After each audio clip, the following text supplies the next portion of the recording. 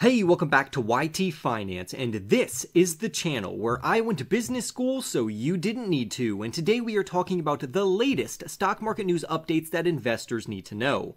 With that being said, go ahead and annihilate that like button right now, subscribe if you are new, comment down below your thoughts about any or all of these stories, and with that being said, let's get right into it. Stocks rose yesterday as investors mulled earnings reports that beat expectations from companies like Palantir Technologies and Spotify. Palantir Technologies is a big data and analytics company which serves both commercial enterprises as well as government agencies, and I really like how they specialize in artificial intelligence. Their earnings report was a very good, causing their share price to jump by 30% up to $21.87. I personally really like Palantir Technologies, except I do believe their share price will cool off over the next few weeks, or if not over the next month, so please brace yourself for that. But in general, this is a solid company. For more information on Spotify as well as Palantir, feel free to watch yesterday's video. But right now, let's focus on today's stock market news. Now, it's not all rainbows and sunshine because we saw Snapchat, which is a social media giant, recently plunge in their stock price after hours when it reported less than impressive revenue results. Meanwhile, we also saw New York Community Bancorp fall to its lowest level since 1997,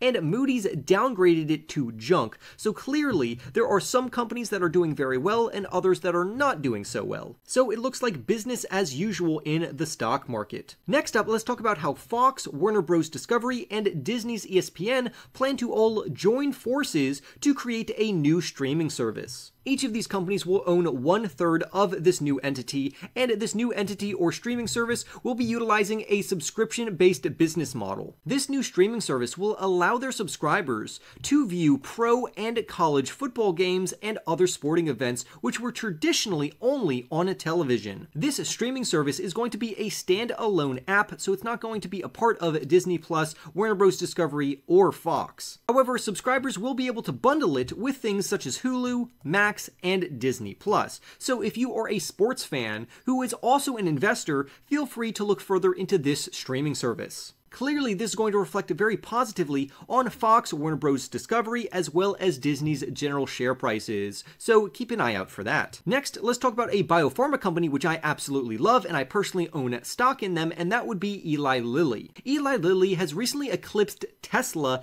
in their market capitalization, meaning that according to their market cap, Eli Lilly is a larger company than Tesla. I personally hold LLY stock in my portfolio, and I believe that this company will eventually achieve a $1 trillion market cap. Eli Lilly has been in the news a lot lately thanks to their newest pharmaceutical, which would be Zepbound. Zepbound is a pharmaceutical which is used for weight loss, and it is anticipated that the sales of Zepbound will reach $1.9 billion in 2024, with the number growing up to $12 billion in just a few years. This shows great momentum and a great future forecast and projection for the future stock price of Eli Lilly, and I believe that this company still has a lot of upside left in them. So feel free to do your own research and add this company to your portfolio if you deem it fit. But that's not all. We also have Meta Platforms in the news today. And if you didn't know, Meta Platforms was formerly known as Facebook. Meta Platforms is a giant technology company which also operates various social media apps. Recently, Meta came out with a statement saying that they would start putting, quote,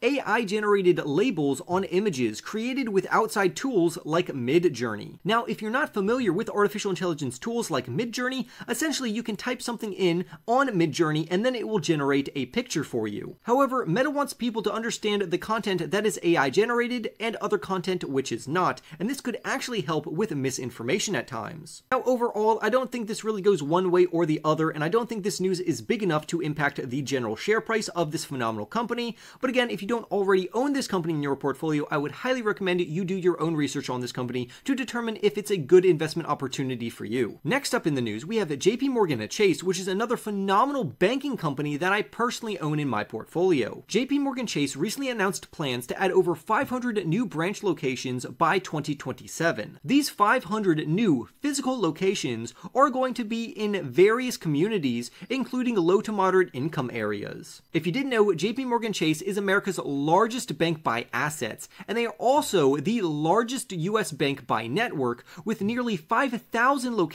across 48 states. But JP Morgan Chase is not only adding more than 500 new physical branches from now until 2027, they also plan to renovate approximately 1.7 thousand of their existing US branches. And because this company is opening up new branches and renovating 1.7 thousand physical locations, they plan to hire around 3.5 thousand employees to support this expansion. In my view, I'm not really that impressed with this, and I'll tell you why. The reason why I'm not impressed is because new physical branch locations isn't going to do too much. I think the real money is going mobile and digital because we've seen a large rise in mobile banking. To give you some context, mobile banking is when you do your banking on your phone through a smart app, and this has kicked off a large decline in physical bank locations. Ever since 2009, we have seen a large decrease in physical banking locations, with approximately 2.5 thousand branches being shut down last year alone. We also know that nearly half of Americans prefer to bank on their smartphones instead of going into physical physical locations. Therefore, traditional banks such as JP Morgan Chase and Bank of America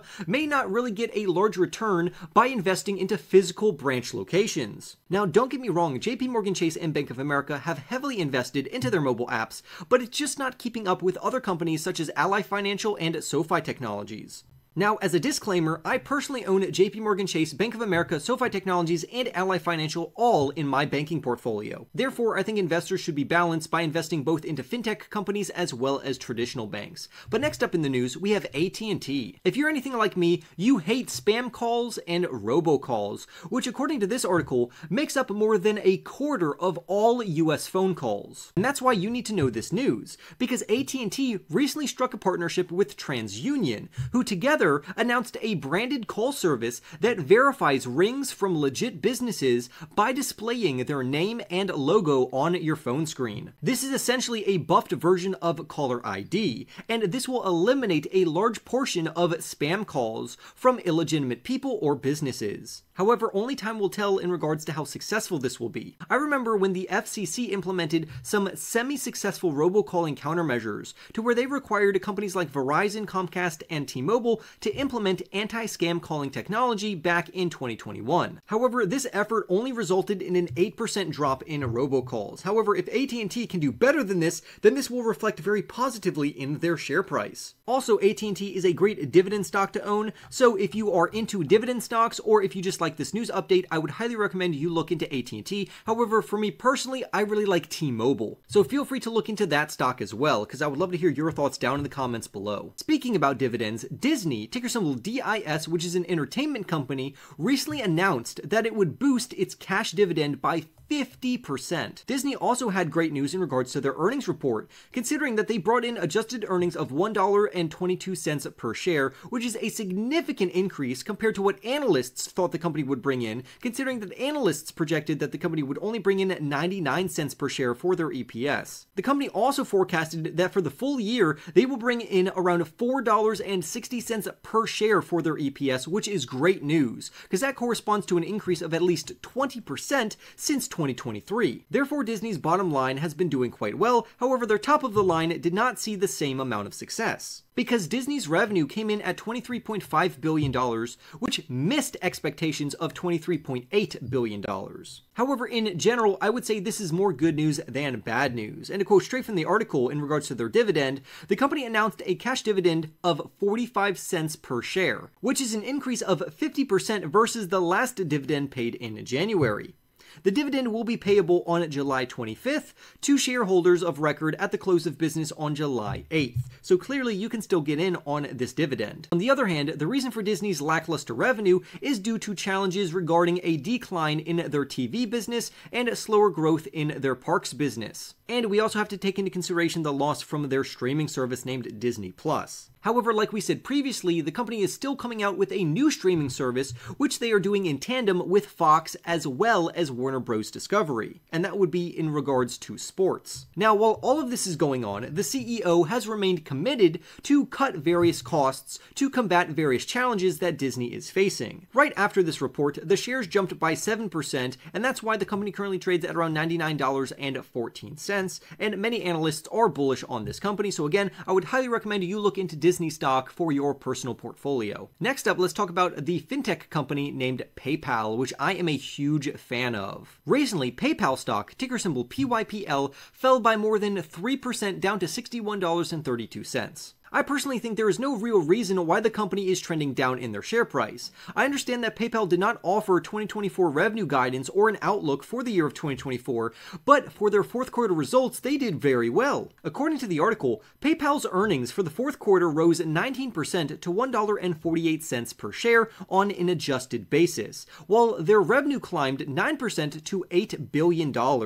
And these are very good results because analysts projected that this company would only bring in $1.36 per share for their EPS, but they actually brought in $1.48 per share, so they clearly beat on their earnings per share. Then for the revenue, analysts forecasted that the company would only bring in $7.88 billion, but they actually brought in $8 billion, thus beating expectations yet again. But despite PayPal beating on their top and bottom line, the company's share price is still trending downwards. Perhaps this is due to PayPal's plan to cut 9% of their workforce throughout the year of 2024, meaning that they are going to lay off around 2,500 employees. In other news, we have ARK Invest's CEO and investor celebrity Cathie Wood selling this one particular stock. The stock that she is selling is a cancer diagnostics specialist named Exact Sciences, ticker symbol EXAS. Now, before you get the wrong idea, ARK Invest did not choose to close its entire position in this company, they just decided to sell some shares, and this could be due to rebalancing of their ETFs and their portfolio. Normally, when ARK Invest sells a stock, other investors also tend to sell that same stock as well. But is this selling justified? Well, let's talk about it.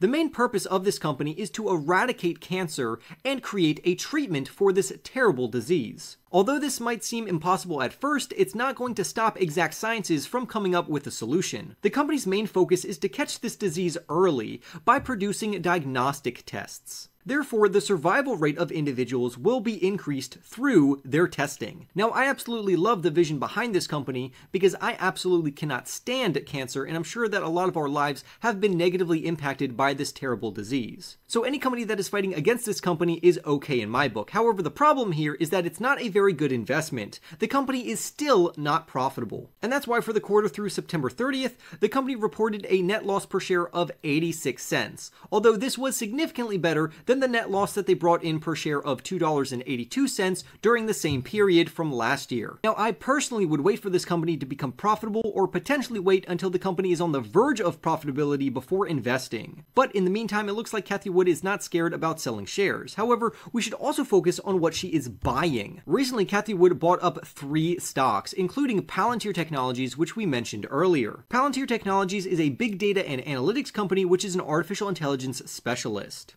Palantir Technologies PLTR stock is already up around 7.91%, and that's because Palantir is still riding the momentum wave from the recent earnings report. In Palantir's recent earnings report, their revenues surged by 20% up to $608.4 million, which beat analysts' forecasts because they wanted the company to only increase by 18%. On top of that, for their earnings per share, the company beat Wall Street expectations because Wall Street projected that they would only bring in a 7 cent EPS, but they actually brought in 8 cents per share, so this is very good in regards to their earnings. Next up, we also see Cathie Wood buying more Tesla, and if you didn't know, Cathie Wood was the original OG bull on Tesla back in the day, telling everyone that the company was going to surge. And ultimately, Cathie Wood was correct, Tesla did indeed surge. And like Cathie Wood, I have also been adding Tesla to my personal portfolio because I think the share price is just way too low. Tesla has had a very rough start to 2024 with a stock trading 26% lower this year. The reason why their share price is falling was due to margins decreasing, price cuts, as well as a lower demand for electric vehicles. On top of that, we also saw analysts downgrade Tesla's rating and their price target.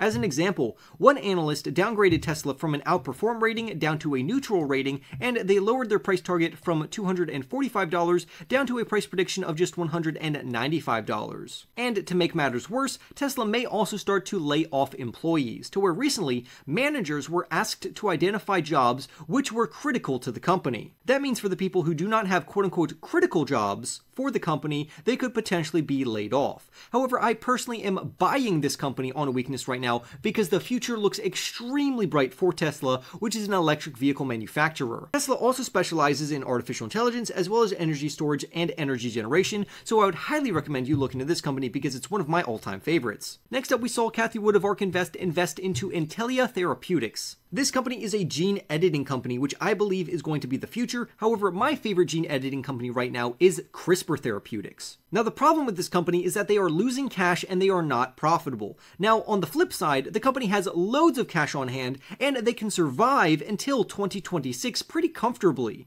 So, as long as they flip to a profit before then, this company looks extremely well poised and well positioned to increase in their general share price. The company is also conducting early clinical phase trials for some of their promising therapies, and a recent price target, even though it was lowered from $93 to $80, is still substantially higher than their current share price price, which is around $20 right now. So if this company could jump from around $20 to $80, this could be a phenomenal investment opportunity as long as you are willing to hold this company past 2026. So feel free to look into Palantir's PLTR stock, Tesla's TSLA stock, and Intellia Therapeutics NTLA stock. You should also be aware of the latest news updates in regards to Rivian Automotive, which is an electric vehicle startup company. Rivian Automotive shares, ticker symbol RIVN, has surged by around 40% in December of 2023, but recently they have fallen in their share price by around 30%. But investors can look forward to an upcoming catalyst because the EV startup announced on February 5th that it will launch the R2. This vehicle is going to be priced at around $40,000 and you are also going to be able to access around a 7,500 $500 write off. This has excited a lot of analysts to where some believe that Rivian is one of the best investment ideas for 2024, and others say that Rivian seems well positioned for a strong 2024,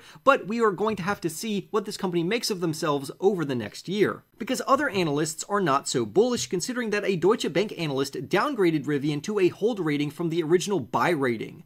They also cut their price prediction from $29 per share down to just $19. This was mainly due to the downside in production volume for Rivian, because it seems that the demand for electric vehicles have somewhat softened. But we're going to get more information on this when Rivian reports their fourth quarter and full year earnings and revenue on February 21st. As of right now, Wall Street expects a loss of $1.35 per share compared to a loss of $1.73 per share in 2022. But the good news is that analysts predict that their quarter four revenue will double up to $1.28 billion. So this could be exciting for investors, so clearly keep your eye out for this one. You should also be aware that Taiwan Semiconductor has surged by around 5% today, and clearly they are a semiconductor company. Taiwan Semiconductor, ticker symbol TSM, is a chip making powerhouse, and I absolutely love this company. The reason why their share price is higher today is because they recently released their monthly revenue report, to where in January they brought in 6 $6.9 billion.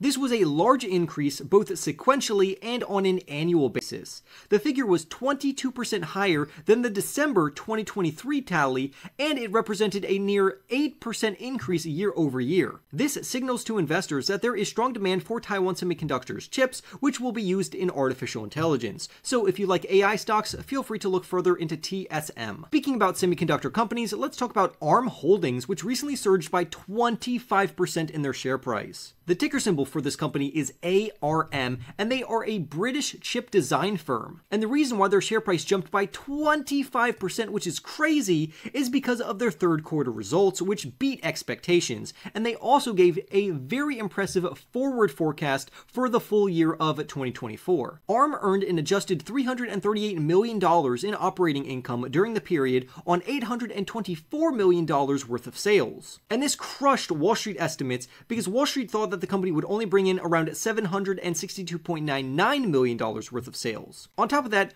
ARM increased their forward outlook for the full year to where they expect to earn an earnings per share between $1.20 to $1.24 per share on an adjusted basis, which is up from their previous estimate of $1 to $1.10 per share. The company also increased their sales forecast to be between $3.16 billion and $3.21 billion, and 3.21 billion. And this is a large increase from what analysts are expecting that this company will bring in throughout the year of 2024 to where they believe the company will bring in $3.02 billion worth of revenue. On top of that, you should be aware that for the coming quarter, ARM expects to earn between 28 cents and 32 cents on an adjusted basis, with sales between 850 and 900 million dollars, while analysts expect adjusted earnings to come in at around 21 cents per share and the revenue to come in at 778.5 million dollars. So this is fantastic news for ARM, and I anticipate further upside potential in this stock. Speaking about companies that are climbing higher in their share price, you need to be aware of Fortinet, CrowdStrike, and Palo Alto networks. And if you didn't know, these are cybersecurity companies. Fortinet recently brought in quarter four sales and earnings. However, you would be surprised that they actually weren't all too great. Now, clearly their sales weren't bad because they grew at a respectable 10% year over year rate in regards to their sales, and pertaining to their non GAAP profits, they exceeded expectations by bringing in a 16% increase. But we need to take into consideration that most of these numbers reflect a significant slowdown in growth compared to Fortinet's performance earlier in the year. However, despite this, according to thefly.com, no fewer than 16 analysts have increased their price target for this company. Therefore, investors such as you and I really need to pay attention to this company, and this has also increased the momentum in other companies such as CrowdStrike as well as Palo Alto networks. In general, cybersecurity stocks seem to be surging right now, and honestly, I love it because I am personally invested in all three of those companies. To round out the video, you need to be aware of major upcoming earnings reports from companies like Pinterest and Cloudflare, among many others that investors are very excited about. So if you want to stay informed about the latest stock news updates that you should know of as an investor, go ahead and annihilate that like button right now. Subscribe if you are new, comment down below your thoughts about any or all of these stories, and with that being said, I will see you in the next YT video.